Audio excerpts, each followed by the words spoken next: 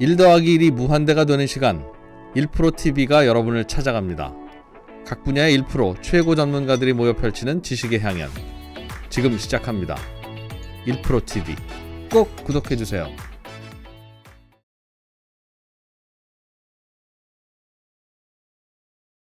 네, 미스터마켓의 저자이자 매일 아침 우리에게 증시 개장 상황을 친절하게 설명해 주시는 네. 이베스트 투자증권의 염승환 이사님 모시겠습니다. 어서 오십시오. 네, 안녕하세요. 어서 오세요. 네, 반갑습니다.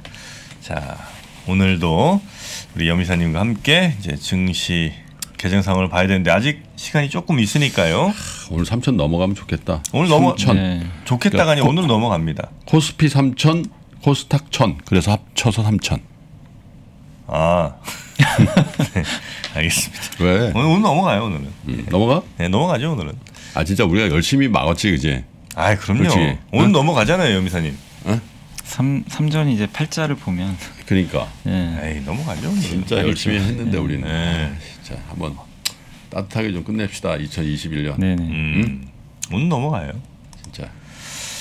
자, 그러면 어, 어떻게 뭐 리포트 한두 개 정도 보고 넘어갈까요? 네, 오늘 이제 사실 오늘 마이크론이 되게 많이 오르긴 했잖아요. 그래서 이제 마이크론 보고서들이 많이 나오긴 했는데 그 유진투자증권의 이승우 애널리스트가 이제 제목이 마이크론이 이제 오미크론을 좀 얻다. 이런 좀 내용의 보고서고요. 네. 춥지 않은 이제 메모리 겨울 예상. 아까 이제 언급하신 뭐 그대로인데 마이크론의 이제 매출액이 감소는 했어요. 근데 이제 시장이 이제 예상했던 것보다는 좀 양호했다 이렇게 보시면 되겠고 음, 2분기 이제 12월부터 2월까지가 2분기거든요. 그래서 매출 예상이 75억 달러로 일단 제시가 됐는데 매출 감소세는 조금 더 이어진다고 보시면 일단 좀 좋을 것 같아요. 근데 매출 하락폭이 한 자릿수 초반에 그칠 것이라는 얘기가 있습니다. 음. 특히 이번 이제 메모리 다운 사이클이 뭐 사실 없었던 건 아니고 어쨌든 이제 하강면은 맞는데 매- 마이크론의 매출 하락률이 고점 대비해서 분기 대비해서 10% 이내로 이제 마무리가 된대요 감소폭이. 근데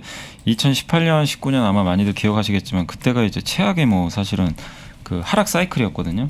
당시에 마이크론 매출액이 고점 대비해서 43%나 그때는 음, 음. 떨어졌어요. 근데 이번 이제 10% 안쪽이니까 네. 이 같은 이제 지난 기업과 비교를 해보면 이번 다운턴의 하락폭은 사실 그냥 미미한 그 자체다. 음. 이렇게 좀 언급을 했고요. 그래서 뭐 그럼 어떻게 해야 될까 이런 좀 이제 내용이 마지막에 나와 있는데 그렇다고 메모리의 뭐 하강 사이클이 완전히 끝났다라고 뭐 얘기할 수는 아직은 없다. 네. 그렇지만 이제 분명히 높은 확률로 얘기할 수 있는 거는 진폭은 작아진 건 맞다. 음. 예, 확실히. 예전에 삼성전자에서 IR 할 때 얘기했던 그 내용이 어쨌든 이제 맞았던 거죠, 사실은.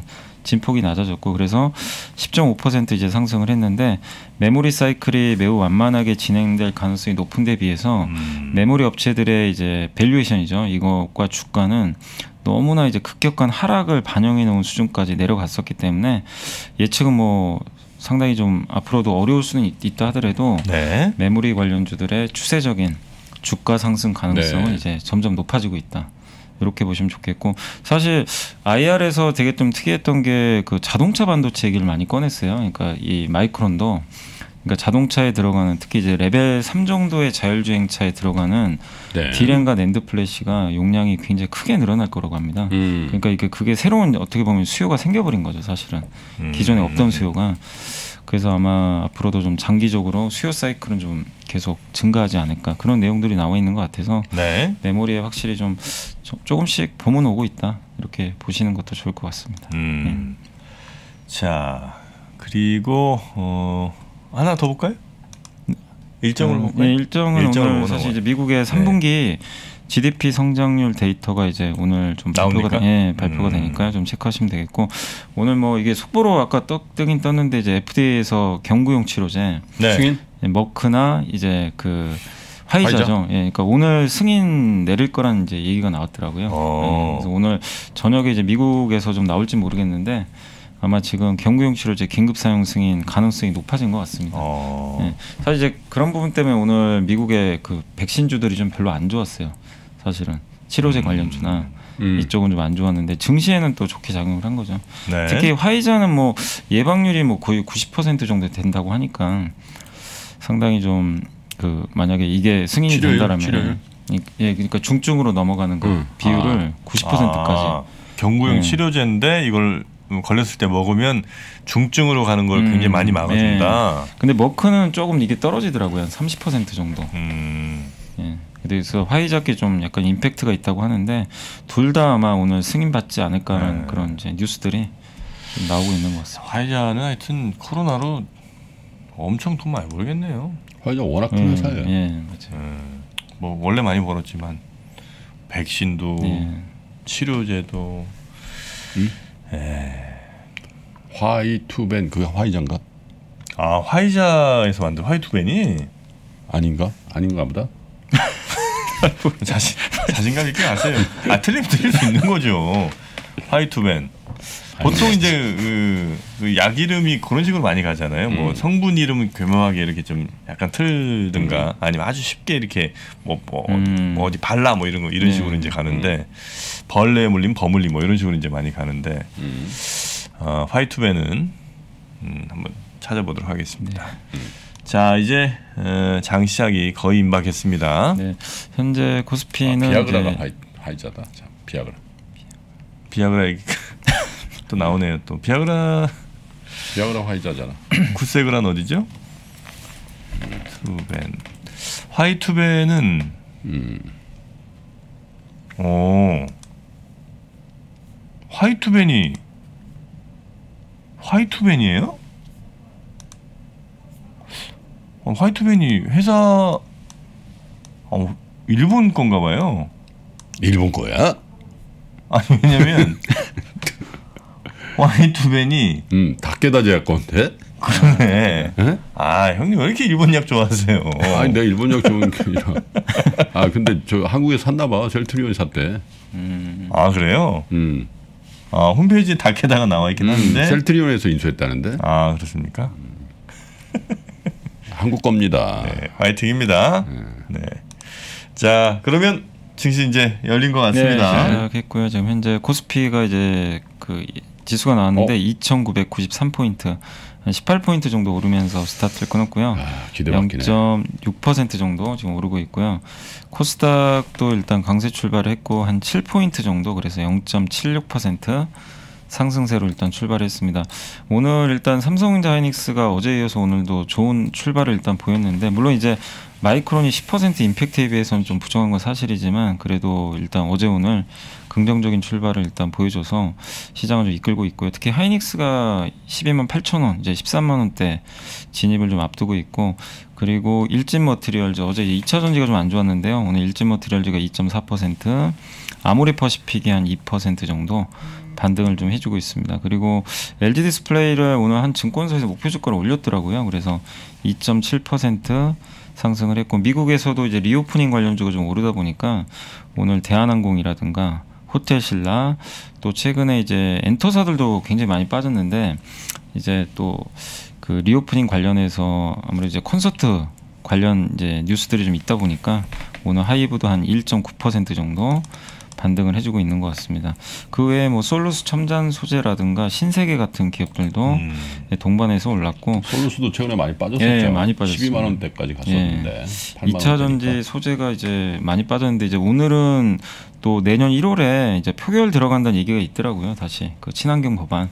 그래서 그 얘기가 오늘 나오면서 미국에서 음. 친환경주가 좀 급등했어요. 음. 어, 태양광 아니면 전기차 그래서 오늘 동반해서 좀 강세 보이고 있고 빠지는 기업들은 오늘 삼성바이오로직스가 좀 빠지고 있고 0.8%. 백신. 예, 백신주들은 역시 조금 미국과 좀 동반해서 영향을 좀 받고 있다. 이렇게 보시면 좋을 것 같습니다. 그래서 코스피 출발은 뭐 이렇게 아주 급등까지는 아니더라도 굉장히 견조하게 출발을 보여줬고요. 현재 2,997포인트까지 좀 올라서고 있습니다. 코스닥도 오늘 출발이 굉장히 좋은 편인데 SFA 반도체가 오늘 한 4% 정도 후공정 업체죠. 그리고 LNF 2차 전지 양극재 기업이 한 3.4%, 위메이드도 오늘 올라가고 있습니다. 2.7% 정도. 또 그 외에 대주전자재료, YG엔터. 그래서 최근에 좀 부진했던 뭐 약간 일부 2차 전지 소재 게임 이런 기업들 엔터사까지 또 강세 보이고 있고 빠지는 기업은 오늘 ST팜인데 ST팜도 약간 이제 CM 업체다 보니까 네. 오늘 주가가 좀 안 좋게 흘러가는 것 같아요. 이쪽이 음. 이제 경구용 치료제 약간 나오면 음. 좀 주가가 오히려 부담스럽게 느끼는 거죠. 그래서 음. 이쪽 관련주하고 시즌이 0.7% 정도 하락을 하고 있습니다. 그래서 일부 코로나 수혜주 좀 빼고는 코스닥도 오늘 굉장히 좋은 출발을 보여줬습니다. 그래서 현재 코스닥도 1,004포인트 정도 일단 7.7포인트 강세 흐름을 이어가고 있습니다. 오늘 수급상은 이제 원달러 환율이 최근에 좀 올라왔는데도 불구하고 어제도 외국인이 매수를 했는데 오늘도 한 300억 정도 순매수를 지금 해주고 있고요. 외국인 투자들은 지금 현재 대부분 전기전자 업종을 사고 있습니다. 336억 정도 음. 매수를 여전히 하고 있고 반면에 기관 투자들은 어제 좀 주식을 굉장히 공격적으로 샀는데 오늘 오전에는 237억 정도 일부 매도를 하고 있다라고 보시면 좋을 네. 것 같습니다. 그리고 거의 올레드네. 아유. 아유. 어려우세요? 아니 거의 뭐 두 종목 빼놓고 다 올레드구만. 아니 그러니까 형님 어려우신지. 난 나는 항상 삼성전자하고 네. SK 하이닉스하고 현대차 이런 걸 보잖아. 음. 장이 살아야 되지 뭐. 어려운 말씀하세요. 네. 조금 더 힌트 좀 드리겠습니다. 아니 난 장이 중요해. 3포인트 남았어 이제. 네. 자 그리고 섹터 쪽으로는 오늘 이제 영화 관련주 영화? 예, 컨텐츠 기업들 아. 일부 좀 올라가고 있고요. CJ, CGV도 좀 굉장히 많이 빠졌잖아요. 영화 이제 관 하는 회사죠. 그렇겠죠. 오늘 한 2.5% 정도. 아 최근에 그 뭐죠? 그 스파이더맨? 예. 네 그거 손님들이 엄청 많은 네, 모양이더라고요. 그건 좀 흥행하고 있다고 하더라고요. 뭐 계속 계속 대작들도 이제 예. 이후로 계속 좀 나오고. 뭐 킹스맨도 나오는 아, 거 킹스맨도 나오고. 매트릭스 이런. 음. 근데 이제 이게 좀 시기가 좀 안 좋은 거죠 지금 이 코로나 때문에. 그러니까 이게 예. 밤 9시인가 하여튼 10시인가 전에 다 끝나야 되니까 예. 음. 마지막 영화가 뭐 7시 이렇게 이제 되니까 음. 극장 음. 타격은 좀 있겠더라고요. 아 예. 그것도 9시 저거구나. 네, 다문 예. 닫고 이제 예. 끝내야 되니까. 음. 아유. 어 삼천 됐네. 네, 지금 딱 바- 삼, 딱 점이네. 예, 딱 찍었네요. 지금 반도체가 힘을 좀 내주고 있어요. 지금 네. 삼성전자가 이제 79,300원까지 야. 지금 올라왔으나 8만 삼성전자 전자도 이제 8자 한번 달아보자. 예, 한번 이번 주 안에 달았으면 좋겠네요, 진짜. 아 오늘 오늘 오늘 예, 오늘 달아보자. 예. 하이닉스만큼만 오르면은 예. 달지. 예. 그리고 뭐 비메모리 쪽도 좋고요. 그다음에 reopening 관련주가 특히 오늘 좋습니다. 여행 항공주 음. 다 강세 흐름 이어지고 있고. 근데 보통 이제 여행 항공주 오르면 게임주가 빠지잖아요. 근데 오늘은 그냥 같이 가요. 게임주도 음. 괜찮고 NFT 관련주 뭐 2차 전지 업체들 면세점 거의 뭐 대부분의 섹터들이 정말 다 고르게 어. 반등을 하고 있고 그나마 좀 빠지는 거는 어쨌든 백신 관련주 정도 요 정도가 좀 빠지고 있다. 음. 그래서 오늘은 하락 종목 찾는 게 더 쉬울 정도로 네. 뭐 거의 대부분의 기업들이 올라가고 있는 것 같습니다. 모두의 마블은 이 여행하는 게임 아닙니까 사실. 아, 전 세계. 뉴욕, 서울 뭐 이렇게 여행하는 게임인데 두 개 여행 게임 다 올라도 넷마블은 안 넷마블은 왜안 오르니?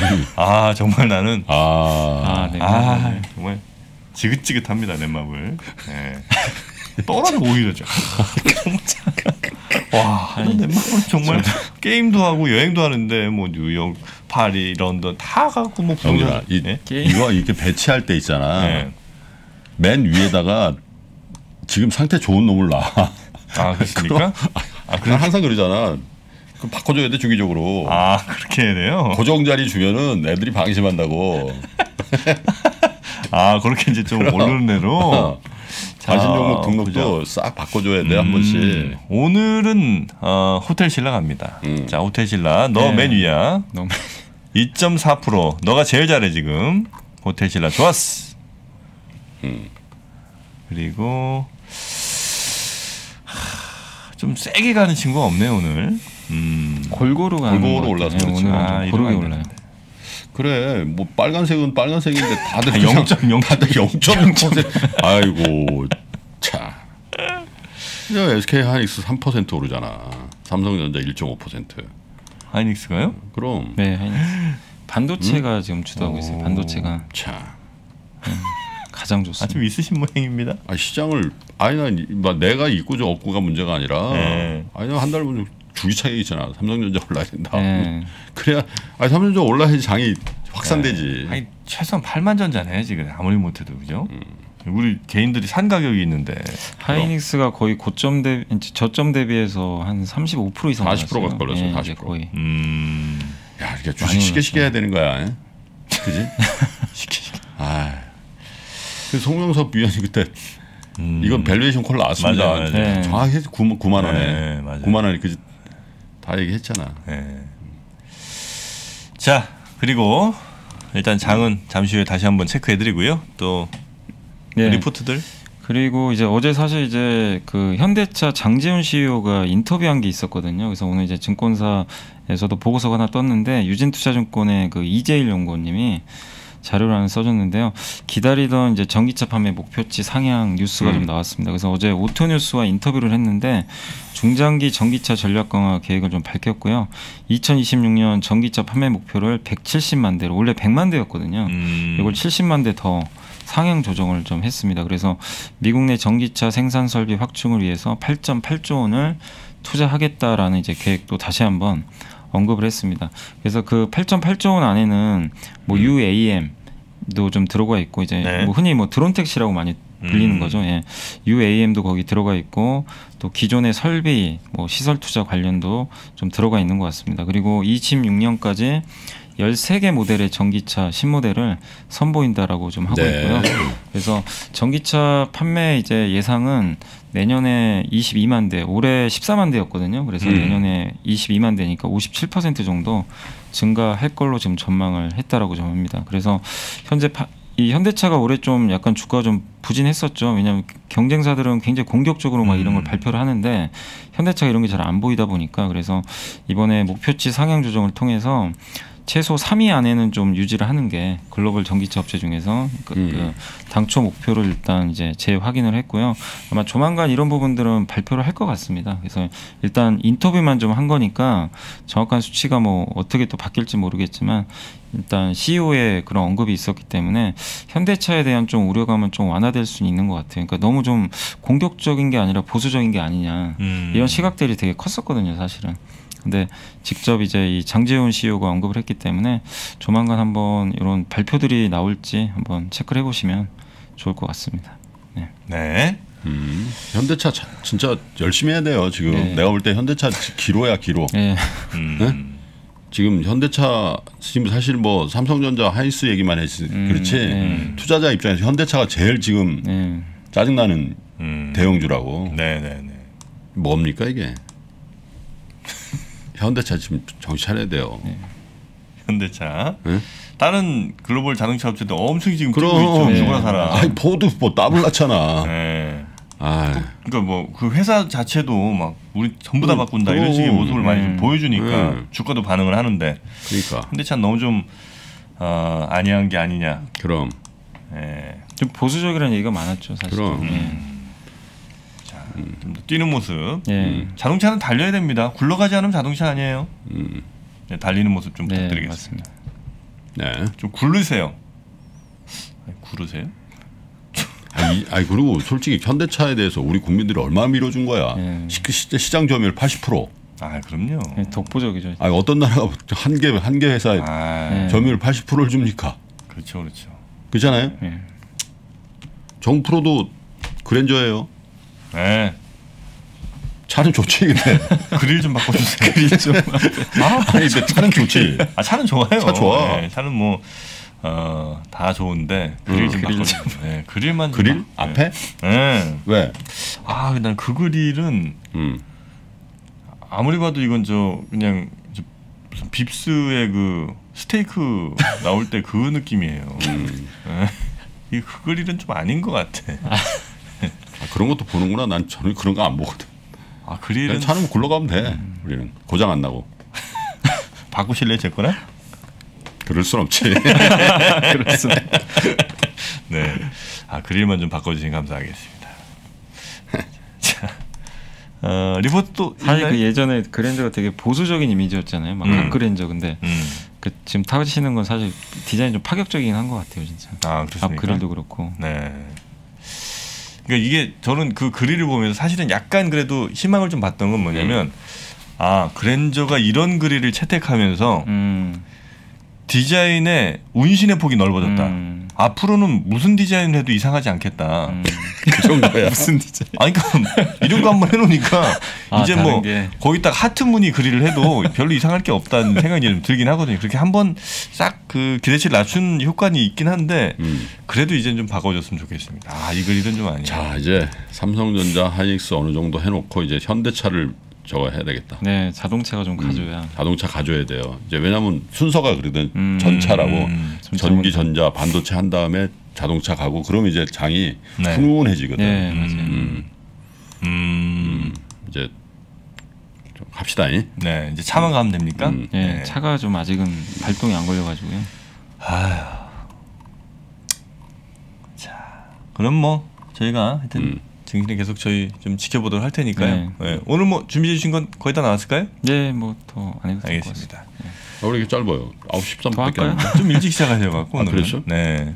아니 양이 정량을 해야지 정량. 네, 뭐 육군 하나- 정량. 뭐 더 있어요. 있는데 이제 갑자기 끝내. 아니 왜 끝내? 더해 더. 정량. 자 그러면 또 한번 뭐뭐 하나 더 하면 네. 그 흥국증권의 변준의 애널리스트인데 근데 이제 사실 내년에 우리나라 증시에 이제 여러 가지 변수들이 또 있는데 가장 좀 우려되는 게 사실 많은 분들이 이제 우크라이나 리스크 좀 많이 얘기를 하시잖아요. 그래서 음. 거기에 대한 이제 자료를 좀 쓰신 게 있어서 말씀해드리면 이제 러시아가 지금 이제 동유럽 국가들의 주둔한 나토 병력 철수를 지금 요청을 하고 있고요.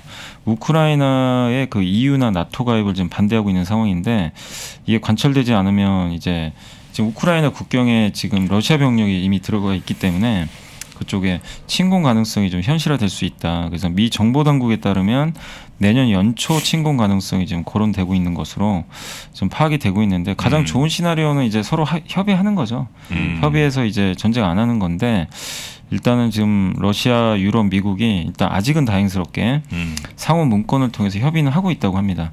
근데 이게 빨리 과정이 더 이루어져야 되는 게 오미크론 등으로 인해서 지금 에너지 가격이 하락을 했는데 다시 지금 천연가스 가격이 음. 지금 폭등을 하고 있어요. 이미 전고점 다 뚫어버렸거든요. 그래서 이 러시아 우크라이나 이슈가 다시 물가 상승을 음. 자극시킬 수 있기 때문에 이게 빠른 좀 해결은 좀 필요하다 이렇게 보시면 좋겠고 지금 이 유럽에서는 지금 대부분의 그 천연가스를 러시아에서 수입을 하기 때문에 네. 40에서 50% 정도 되거든요. 네. 최근에 미국 LNG 수입을 좀 늘리고 있대요. 유럽 입장에서도 지금 급하다 보니까 음. 뭐 푸틴 대통령이 뭐 끊어버린다 뭐 이런 얘기도 자꾸 나오니까요. 음. 그래서 실제 LNG 수입이 30%나 증가를 하기 시작했고 음. 아시아 시장에서도 지금 가격이 튀기 시작하고 있다고 합니다.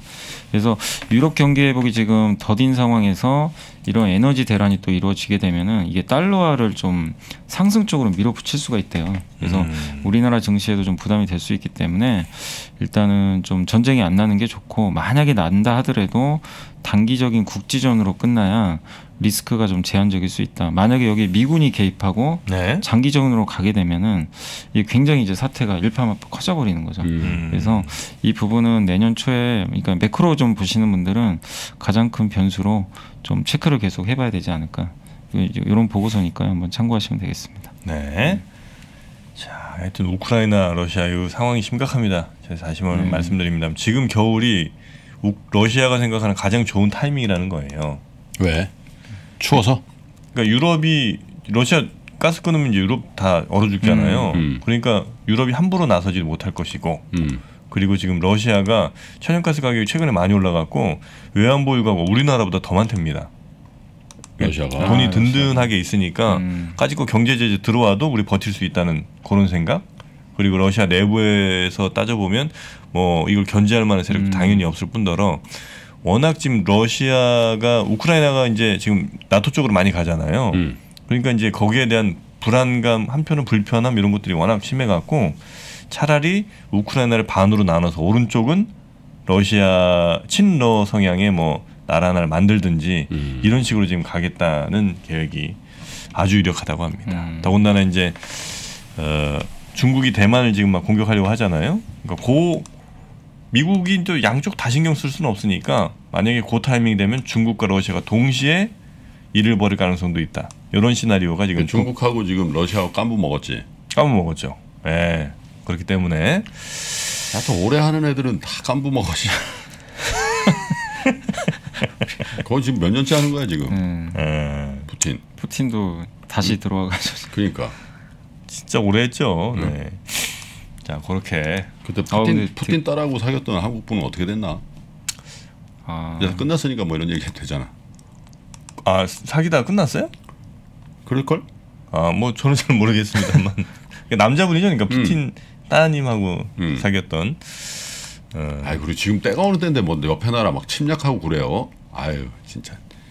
아 근데 그 크림반도 그렇게 했잖아요. 아니 그러면 안 되지. 음. 평화적으로 해야지. 지금 때가 어느 코로나 때문에 전세가 이렇게 막 어? 지- 음, 그런데 뭘 전쟁을 해.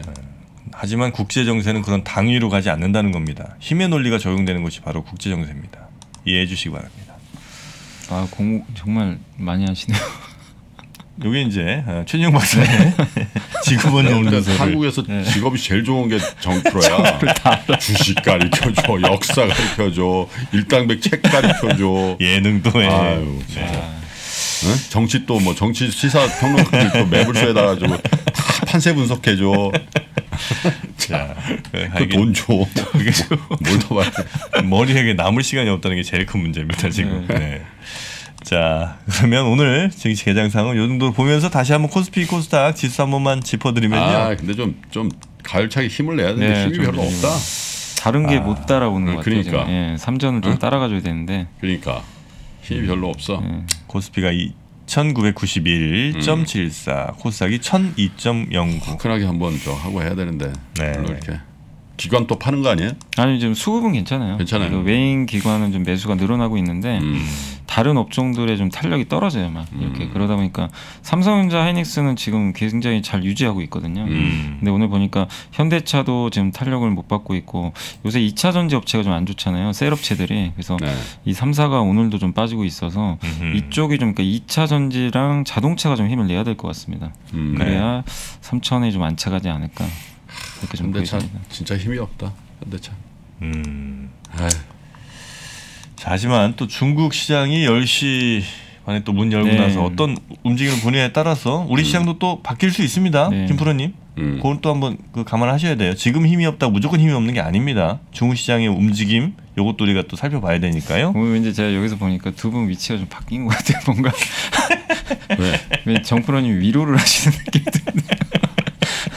평소엔 좀 아니 난내 주식 내 주식 갖고 오는 게 아니야. 그러니까 좀내 주식 괜찮아요. 나는 자, 근데 힘내셔야 됩니다. 이, 뭐 이게 뭐 마이크로는 뭐 10%씩 오르는데. 응? 음, 응? 아직- 뭐 뚱하고. 실망하긴 이르다는 말씀입니다. 현대차 0.7%.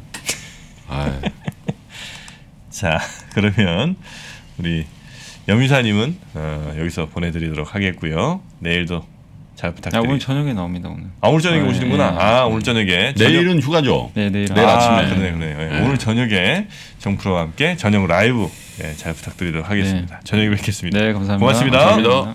역사상 최고의 수익률의 강세장이 이어지고 있죠. 금융위 이후에. 근데 이 강세장의 끝들은 어, 다 급락이에요. 또 이렇게 나오는 거 아니냐에 대한 걱정들이 커지는 거예요. 디램 사이클도 바닥을 딛고 돌아설 수 있는 가능성이 있으면서 동시에 그 당시에 자사주 매입을 강하게 하면서 삼성전자 주가가 두 배 이상으로 강하게 올랐었기 때문에 저희는 그렇게 되면 삼성전자 주가는 진짜 많이 오를 수 있다. 라고 생각을 하고 있고요. 아직은 그러기는 좀 힘들다. 네이버 카카오톡 플랫폼 기업들 그리고 2차 전지의 기업들 뭐 이런 유두를 묶어 보게 되면은 그래도 이 정도를 합하면 하나의 어떤 삼성전자를 대체할 만큼 빠르게 올라왔다는 어, 명품이 백화점에서 구조적으로 성장해주는 유일한 품목이기 때문에 신세계의 고성장이 굉장히 눈에 띄었던 해였습니다. 지금 보는 이 가치평가 프레임이 네, 붕괴한다라고 생각하는 거고요. 가치평가 프레임의 붕괴라는 것은 쉽게 얘기하면 기존 산업이 붕괴하는 것을 의미한다라고 저는 생각을 합니다. 내가 주식을 능동적으로 분석하고 끌고 가야 되는 거지 끌려다니는 것만큼 스트레스를 받는 게 없고 에너지가 소모되는 게 없거든요.